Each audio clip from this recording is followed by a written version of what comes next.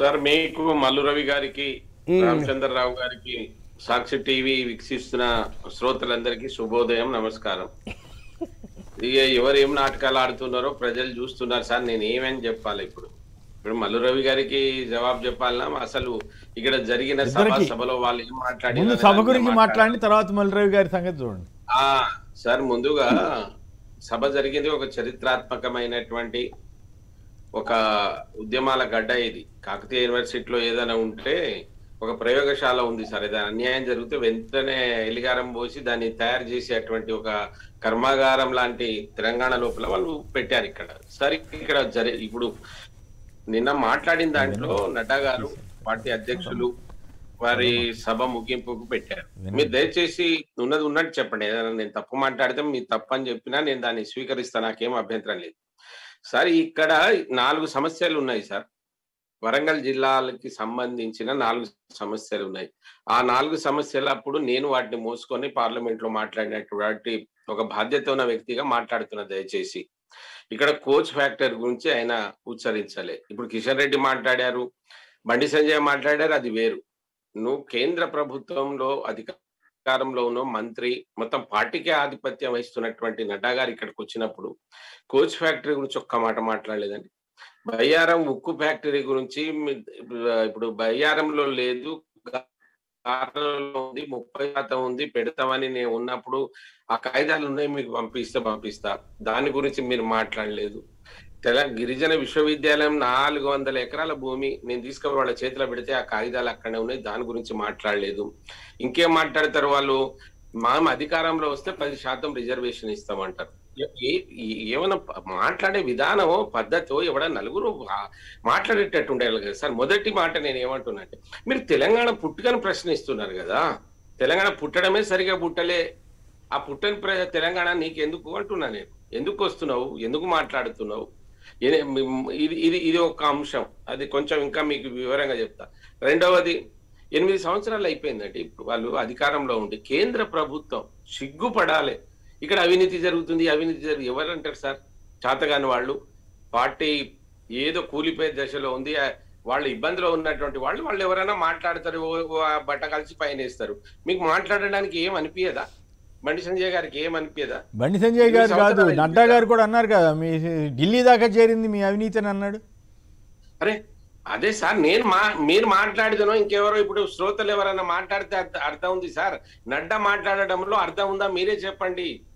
వాళ్ళు చేతిలో ఏం లేవు సార్. సిబిఐలు ఉన్నాయి ఈడీలు ఉన్నాయి నిమిషానికి ఒకసారి పంపిస్తున్నారు. పార్టీలో చేరకపోతే వాని మీద ఓ సిబిఐయో ఈడీయో జరుగుతూనే ఉన్నది. మీరు చూస్తున్నారు నేను చూస్తున్నా. ఆ పార్టీలో ఉన్న దాంట్లో చేరతలేవు కదా. చేరుతూ చెప్పండి. మరి కేసీఆర్ ఇప్పుడు మీ పార్టీలో చేరాలనా? అసలు ఏంది అర్థం కాదు. ఎందుకు మాట్లాడుతున్నారు అనవసరమైనట్టే? ఏమైనా ఉంటే నిజ నిర్ధారణ చేయండి. మీ చేతిలో మీరు కేంద్ర ప్రభుత్వం నువ్వు రూపాయి ఇయ్యలే కాళేశ్వరం కట్టడానికి. మాట్లాడడమే సిగ్గుపడాలి. దానికి జాతీయ హోదా ఇచ్చి రేపు కమిషన్ ఏమైనా చేత అయితే ఏం మాట్లాడతారండి? నాకు అర్థం కాదు. అనవసరంగా వచ్చి ఏ అర్థం ఉందా ఏమైనా? ఎన్ని రోజులు జైల్లో ఒక ముఖ్యమంత్రికి ఒక గది కట్టించినావంటే ఏమన్నట్టు ఎవరు సిగ్గుపడాలి?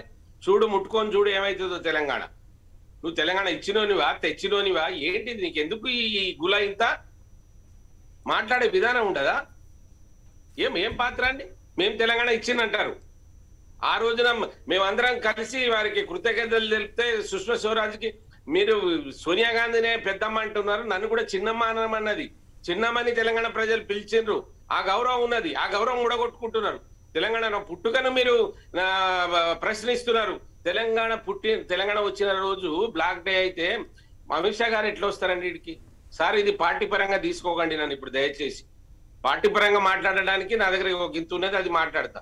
కానీ ఈ తెలంగాణలో పుట్టిన ఒక ఉద్యమకారుడిగా మాట్లాడుతున్నాను నేను. దయచేసి గమనించండి నీకు ఏం హక్కు ఉన్నదని వస్తున్నావు తెలంగాణ ఏం సభ పెట్టినావు నిన్న వరంగల్లో? ఏమైంది? గిరిజన యూనివర్సిటీ ఇస్తానని పోయినావు ఓకే. అంటే అవన్నీ ఆల్రెడీ చెప్పారు. అయితే మత విద్వేషాలు రెచ్చగొట్టేది మీరేనని కూడా ఆరోపిస్తున్నారు బండి బండి సంజయ్ గారు కానీ మిగతా ఇక్కడ ఉన్నటువంటి మసీదులన్నీ తవ్వండి. శవాలు వెళ్తేనేమో మాయి. శవాలు వెళ్తే మీ. ఇంకేమైనా వెళ్తే మాయి. ఈ మత రచ ఎవరు అరే కాదండి నైజాం గురించి మీకు తెలియదు ఏమైనా చరిత్ర అండి? ఎన్నిసార్లు నిజాం నైజాం నిజాం ఎన్ని సంవత్సరాలు పరిపాలించిందండి? పంతొమ్మిది వందల ఇరవై పదిహేడు వందల ఇరవై నాలుగు నుంచి పంతొమ్మిది వందల నలభై ఎనిమిది మన చేతికి ఒక సంవత్సరం మనకు ఆలస్యంగా వచ్చింది కదా అప్పటి వరకు వాళ్ళు పరిపాలించినటువంటి వాళ్ళు కట్టిన మార్నమెంట్సే ఉన్నాయి. మీ మీ మీరు విభజనల విభజన చట్టంలో పెట్టినటువంటి ఒక్కటైనా ఇచ్చి ఒక తెలివి చూపెట్టుకోరు? ఇది మేము కట్టినామని ఎందుకు నిందిస్తున్నారండి? నిజాం గొప్పవాడేనంటారా? హండ్రెడ్ పర్సెంట్ నిజాంకి నిజాం గొప్పవాడే కానీ దాంట్లో కూడా దోచుకున్నదంతా ఈ దొరలే సార్. మళ్ళీ మీరు తెలియకపోతే ఎట్లా?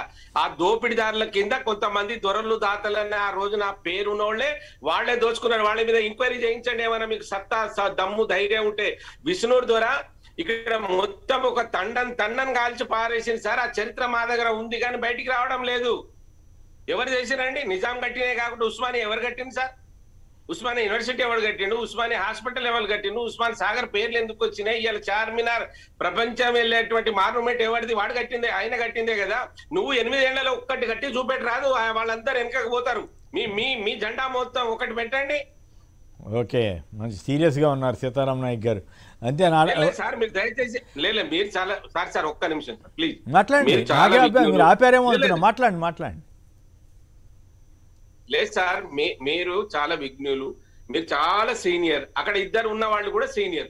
కానీ మీరు గమనించిన లేదో మా రామచంద్రరావు గారు మాట్లాడి నేను చాలా గౌరవిస్తా వాళ్ళు నన్ను వారు అదే విధంగా ఎక్కడ చూసినా మేము అట్లా మాట్లాడతాం. మొదటి నుంచి పరిచయం ఉన్నవాడు. మాట్లాడిన ధోరణి చూసిన పాపం ఏం చేస్తారు ఆయన? ఎట్లా వెనుకొసుకొస్తాడు వాళ్ళ నాయకులు మాట్లాడిన దానిలో. కానీ మీరు కూడా నిజాం. వెనకేసి రావడం కరెక్ట్ కాదనుకుంటా కదా? నేను నిజాం కాదు సార్ మీరు ఒకటి గమనించాలి. కాదుగా నిజాం అంత గొప్పవాడైతే ఆయన్ని అట్లా కంటిన్యూ చేసి ఉండొచ్చు కదా. అట్లా అట్లా చెప్తాం ఇప్పుడు నిజాం గొప్పవాడు అన్నట్టుగా. భారతదేశానికి స్వతంత్రం వచ్చినాక కూడా నిజాంకో రాజు ఇవ్వాలనా మరి నిజాం గొప్పవాడు అంటున్నారు కదా. అరే వారు చేసిన పనులు చెప్తున్నా సరే ఆయన కాలంలో పనులు జరిగినాయి. మరి చాలా చాలా వ్యతిరేకత కూడా ఉంది కదా. కాదు కాదు కాదు. మీరు నిజాంని సార్? నిజాంని కొంతమేర పలానా పనులు చేశాడన్నది అభ్యంతరం లేదు కాదు కానీ నిజాం టైంలో. సామాన్య ప్రజలు ఎంత కష్టాలు పడ్డారు ఎంత నష్టాలు అనుభవించారు ఎన్ని సమస్యలు ఎదుర్కొన్నారు అవన్నీ మర్చిపోకూడదు కదా. కమ్యూనిస్టు కాదు కాదు సాయుధ పోరాటం ఎందుకు వచ్చి నిజాం వ్యతిరేకంగా నిజాం. వ్యతిరేకంగా సాయుధ పోరాటం ఎందుకు వచ్చింది? ఇవన్నీ మేము మర్చిపోకూడదు కదా. సార్ సార్ మీరు గమనించాలి. ఎప్పుడైతే భారతదేశం విలీనం కాబోతుందో అప్పుడు ఈ దోపిడీదారులు వాళ్ళ ముసుగు కింద తయారై చేసినటువంటి వాళ్ళే. నేను నిజాం పాలనలో అభివృద్ధి జరగలేదు అంటలేని జరిగింది. నిజాం పాలనలో అన్యాయం జరగలేదని అంటే అన్యాయం అంతా న్యాయమే జరిగిందంటలేను. అన్యాయం జరిగి అసలు మా- కుటుంబాలే కదా సార్ నాశనమైంది అది చరిత్రలో లేనిది మేము. మీరు దయచేసి ఏంటంటే మీ టీవీని పంపించండి ఇక్కడికి ధర్మారం తండకు ఎన్ని కుటుంబాలు నాశనమైనాయి? తండాల తండాలను కాల్చి పడేసింది సార్. నైజాం పాలనలోనే జరిగింది ఇది. మరి నేనేం కాదంటలేదు కదా. కానీ. ఆ రోజున వాళ్ళు కట్టినాయి కొంత చేసిరు వాళ్ళు కట్టినాయి వాళ్ళే ఉన్నాయి కానీ మీరేం చెప్పుకుంటారు అంటున్నా ఎనిమిదేళ్ళలో. ఓకే. రైట్.